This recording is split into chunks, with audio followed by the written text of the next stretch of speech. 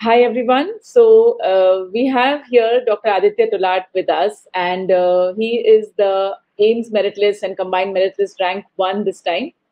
So many congratulations, Dr. Aditya. And I hear that you're still answering your MS exams right now. Is that right? Thank you so much, ma'am. That's right. I'm a third year PG at VMMC and Safdarjung Hospital, New Delhi, and my exams are due in June. So oh, my MS exams oh. are going to be there. Yes. So that's that's quite a feat that you know you've not yet answered your uh, MS uh, final year and you already have your MCH seat in hand. Yes, ma'am. It's it's one big headache. Uh, you know, gone from the. I'm sure. Gone from I'm. Sure. Yes. Yeah. Yeah. So um, so tell me whether like you know you always wanted to be a plastic surgeon. I did, ma'am. Yes, actually, plastic. I developed interest in plastic surgery right from my MBBS days. So we used to go to the OT and we used to see those radical head and neck cancer resections. And I used to just be fascinated how the plastic surgeon used to just come along later and just make everything back normal again. So and it continued during my MS also. And by the end of the first year of PG, I was I was sure that I wanted to be a plastic surgeon. Okay, that that's really good. You know, because many a times uh, we are still not sure, especially with uh, when we have um, exposure to multiple specialties, then we're still making up our mind. So obviously, if you are clear from the start, it does help you a bit. But uh, again, like each to his own. Some people they take some time in developing their interest, but uh, it has been uh, a boon for you. I think that you were quite uh, sure from your the starting of your MS that you wanted to be a plastic surgeon. So, if I ask you, um, I mean, did you actually prepare for the AIIMS uh, exam or did you do, did, uh, do a combined preparation? How was it? I mean, take us through your preparation journey. When did you start and how did you plan it out? Uh, ma'am, I actually uh, prepared for AIIMS because, you know, it has been a trend in our uh, college, especially our unit, that many of the PGs, they get it in the April session before even giving the MS exam. I had seen my seniors do it so that instilled a little bit of a confidence in me that it's achievable. And so i started preparing on the 1st of january. So i had made up my mind last year only that uh, till december and i'll just study my ms my general surgery. And that from 1st of january i'll focus more on plastic surgery. So jan to april i've given it to plastic surgery ma'am. Okay. So that's that's quite you know courageous because just before your ms exams you're yes, you know surgery. That can only happen with planning, I believe. Without planning, this can't happen.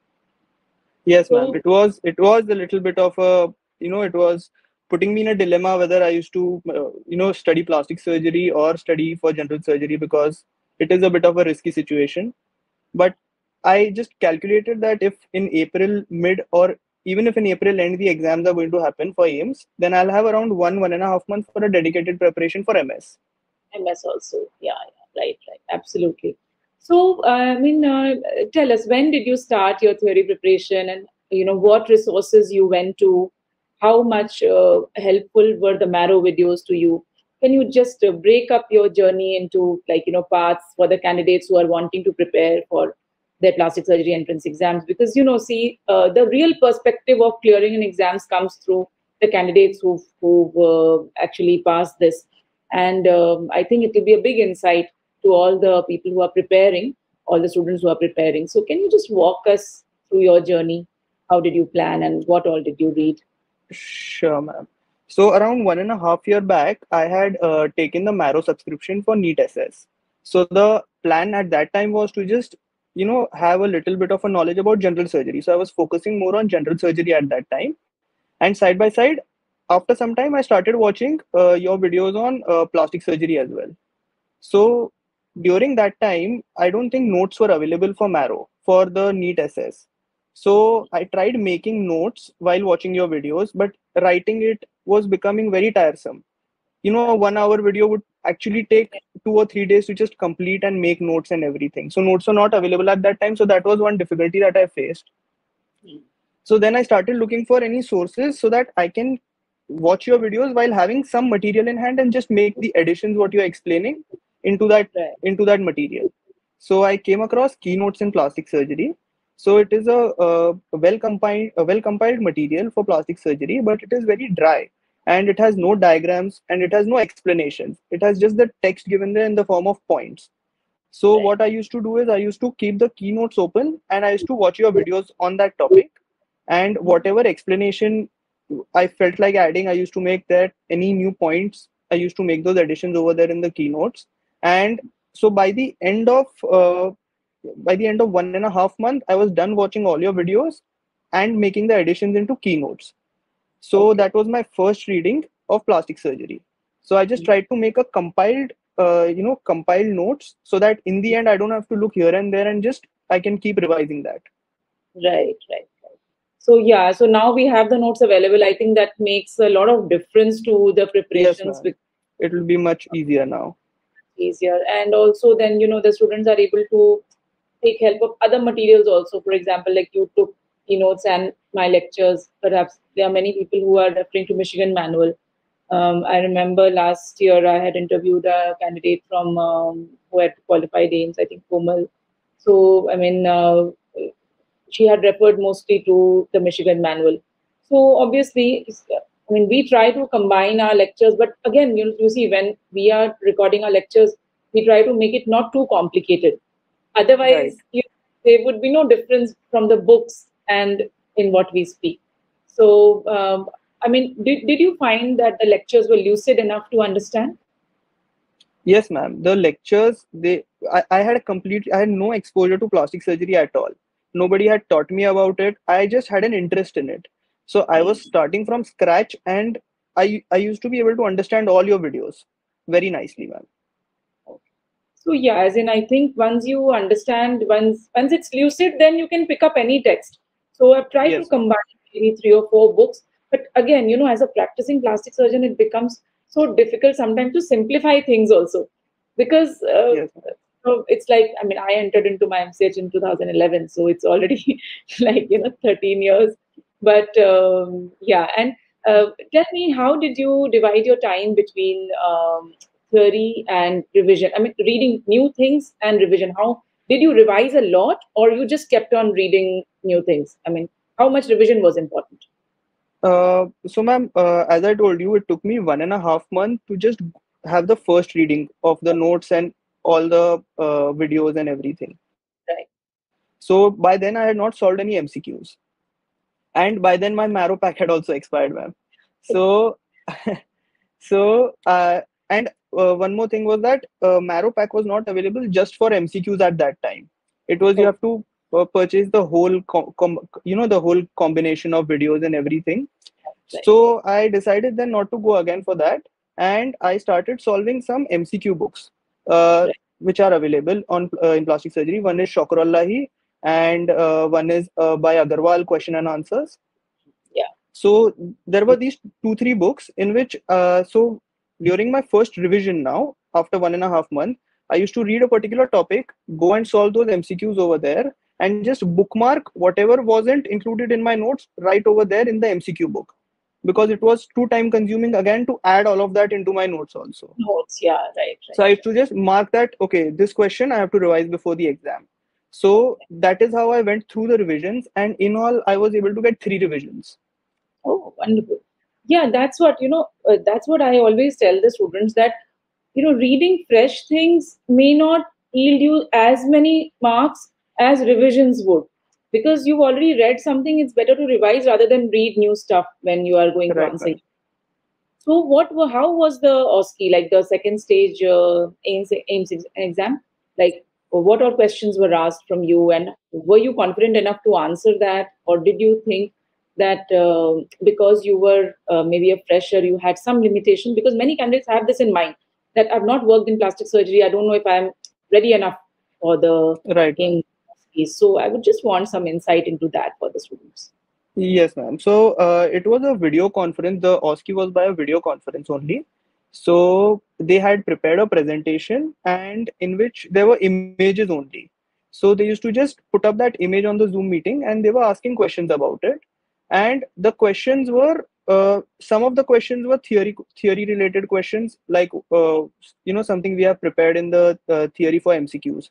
And Hmm. some were a little bit of a practical aspect in which I had a little bit of a difficulty, ma'am, because Oh. I had not worked in in any plastic surgery department yet. Right, right. So could you just run us through uh, what, where do you think were the was the difficulty, and uh, how many questions were asked in the OSCE? Uh, in the OSCE, ma'am, around uh, seven or eight images they showed me. It lasted for around 15 minutes. Okay. Do you remember the images? Uh, yes, ma'am. One was a uh, Abbé lip flap was there. Right. Uh, one was uh, regarding cleft palate surgery. Rather, Right. two or three images were there on cleft palate surgery. They also asked me uh, the Dingman retractor, Yeah. and uh, they asked me a little bit about the skin grafting. They had the skin grafting instrument there, the silver's knife they had shown us, Right. and uh, uh, there was yes, ma'am. There was extensive discussion on uh, on syndactyly. Okay. Yeah. So, uh, did you attend that instrument section, the session that I you had did on? attended, Yes, ma'am. right? And it was helpful because they asked some questions from that inter- from that session that you had taken which were not given in any books so Right. it was helpful ma'am Okay, okay, that's good to know. Because yeah, cleft lip and palate, I think we just can't escape that. I mean, you have to know each and every aspect of it, be it instruments or be it surgeries, I think. And yeah, even the lip flaps, it's a hot favorite of all the examiners. So you said that uh, syndactyly was asked. So um, I mean, we did discuss in the theory lecture. I've discussed about syndactyly, but uh, did they ask technical questions also on syndactyly?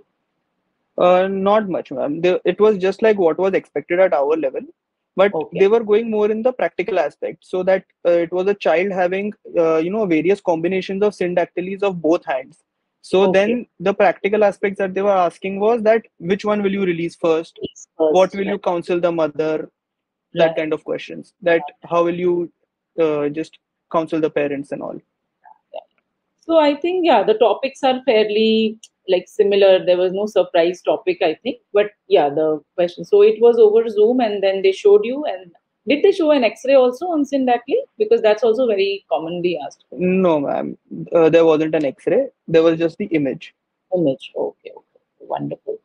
So now you are heading to your uh, answer your MS exam, right? So um, yes ma'am preparations will be on for MS, and after that you can really celebrate what you've achieved right now.